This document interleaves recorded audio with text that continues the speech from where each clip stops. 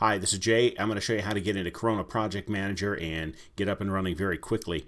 Uh, the first time you start, you're going to need to go into Preferences here and set up the uh, location of the Corona Terminal app for Corona Game Edition and Corona SDK. Now, if you're only using one of those, then only you only need to fill in the one that you that you care about. And it's easy to find. All you have to do is hit the Browse button and then go to where you installed it and find this file right here, Corona Terminal select that and then click the open button and it'll set that like that and then you click OK and you're done with the setup. That's the only setup that it requires.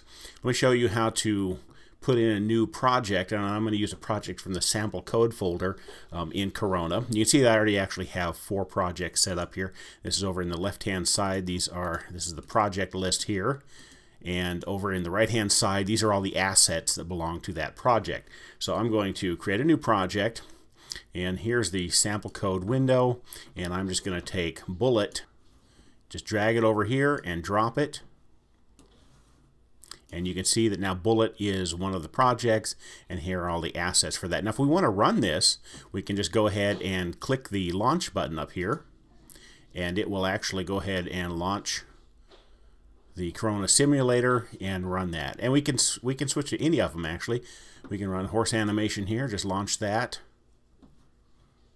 or collision detection, launch this.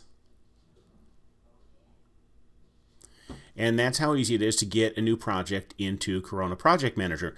And that works good for an existing project, but what about starting from scratch? Right up here in the toolbar, you can see New Project. And I'm going to call this uh, Zombies Ate My Poodle. That's going to be the name of my game. It's going to be for the iPhone, Corona Game Edition. And I'm going to go ahead and create this brand new on disk. And new folder, I'm going to call it Zamp Game. Alright, so I have that there, and I've got three checkboxes here uh, main.lua, build.settings, and config.lua. If I leave those checked, when I click OK, it will create the new project and it will actually create uh, stub files uh, in that directory. So I'm going to go ahead and click OK. And we now have Zombies Ate My Poodle, and you can see the three source files that are ready right here. And in fact, if I double click one of them, it's going to go ahead and launch inside of TextMate. Now, Corona Project Manager is not a text editor, doesn't have a text editor built in.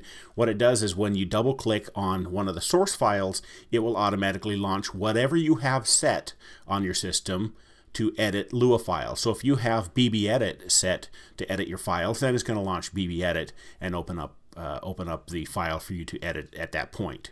And you can see it also goes ahead and puts name of the project up here at the top of your source file and uh, does a copyright with your name, and your name is included when you register the software. Let's look at another cool feature of Corona Project Manager called Dynamic Assets. We have a collision detection project here, and I'm going to go into this project and take sodacan.ping and just drag it and drop it into collision detection. And we can see that now this is also a part of this project. You may have noticed the, the green balls over here to the side.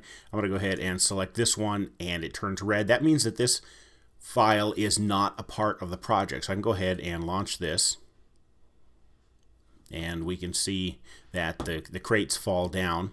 But what if I want to try and make it so that soda cans fall down and use this asset. One way I can do that is go into main.lua and change the actual code that references that file, but there's a much easier way.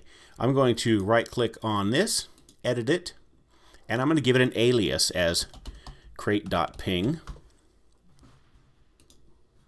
And now what I'm going to do is I'm going to go and turn off the original crate.ping. Now when I launch this, it's going to use all of these assets, but it's not going to use crate.ping since it's turned off. And it's going to use the alias for sodacan.ping. Let me show you what happens.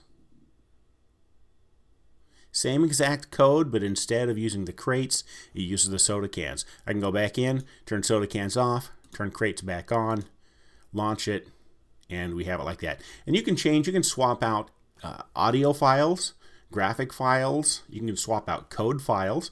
So if you have, for example, a second main.lua, maybe you're trying uh, some different types of code, you could create uh, a second main.lua file